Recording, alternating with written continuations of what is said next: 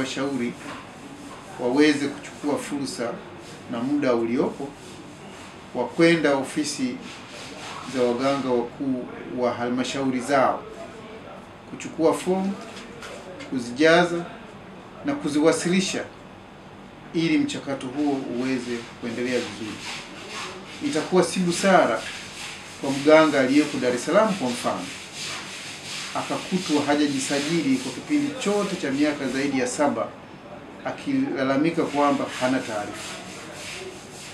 Na sasa hivi tunawakumbusha tu kwamba e, hatua zitakazofuata zitakuwa za kupita mganga mmoja baada ya mwingine, hususan katika miji, ili tuweze kuona maelekezo haya ya viongozi yamefikia hatua kiasi gani.